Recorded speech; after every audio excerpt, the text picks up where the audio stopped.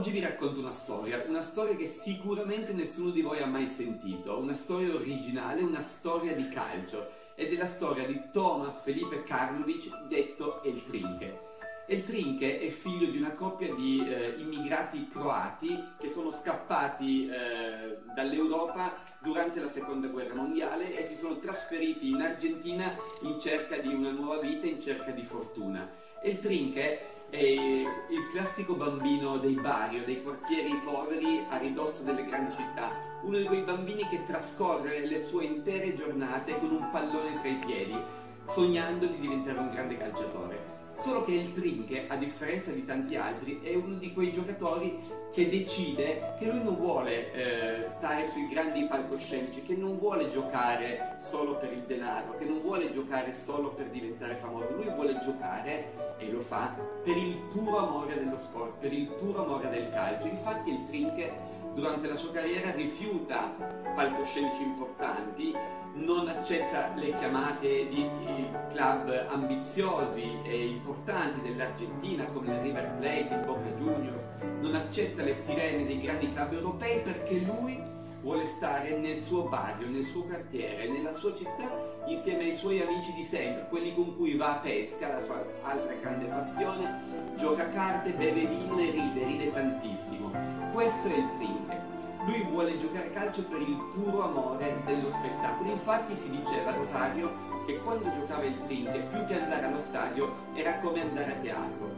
Purtroppo non ci sono video di El Trinche, eh, bisogna fidarsi di chi l'ha visto, di chi lo racconta, corrono tante storie sul suo conto. Una di queste, per esempio, è che durante una partita uno dei tifosi abbia detto e il Trinche faccio il doppio tunnel, che era un po' la sua specialità, e il Trinche dal campo lo ascolta e fa il doppio tunnel.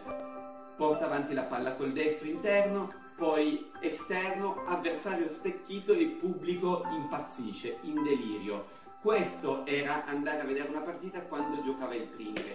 Un altro episodio rinomato della storia del Trinche è che per esempio eh, alla vigilia del mondiale che si giocò in Argentina nel 78, quello che poi fu vinto dall'Argentina, il selezionatore di quella nazionale, Menotti, decise di dare una chance a El Trinche, quindi di convocarlo tra i 22 pensati per il mondiale. E il Trinche accetta la chiamata, il salto diretto in nazionale senza passare nemmeno per la Serie A, dal suo barrio allo stadio monumental di Buenos Aires per fare il mondiale, un sogno si direbbe. Però il Trinche è una persona particolare, durante il eh, percorso che lo porta a Buenos Aires, lungo il tragitto lui vede un ruscello, un torrente pieno di trote e non riesce a resistere alla tentazione, quindi si racconta che lui prende la sua canna da pesca che aveva sempre con sé nella macchina, si mette a pescare, pesca un sacco di trote e quindi con tutte quelle trote non può andare, non può presentarsi al ritiro della nazionale, quindi decide di invertire la rotta e rinunciare per sempre al sogno della nazionale. Questo è il Trinche. In un'intervista, perché poi ricordiamo che lui si è ritirato dal calcio giocato nel 1986, proprio l'anno in cui l'Argentina vince il suo secondo mondiale, l'anno in cui Maradona diventa il pibe d'oro. E in un'intervista che viene fatta a lui, il giornalista gli chiede qual è il Trinche, il tuo più grande sogno? E lui dice il mio più grande sogno sarebbe quello di poter giocare altri 45 minuti. Io non ho mai accettato di andare lontano dal mio quartiere perché per me il calcio era amore per lo sport, ma l'amore per lo sport giocato insieme ai miei amici, eh, in cui la sera potevo tornare a casa, stare, stare con le persone che amavo e che amo profondamente. Infatti il Trinkel dice che cosa sarebbe servito andare al Real Madrid, andare al Boca Juniors quando io non avrei potuto fare quello che amavo fare. E per esempio ho giocato la Coppa Libertadores o un mondiale. Insomma, di non essere mai davvero arrivato. Però che cosa significa arrivare?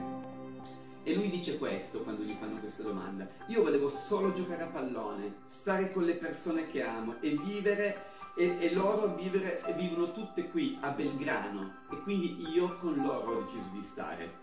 Però a Rosario, sapete, sono passati fenomeni del calibro di Lionel Messi, di Diego Armando Maradona e di Mario Kempes, dei fenomeni assoluti del calcio argentino e del calcio mondiale. Però se tu vai dalla gente di Rosario e chiedi chi è stato il più forte di tutti i tempi, la gente sicuramente ti risponde è il Trinche.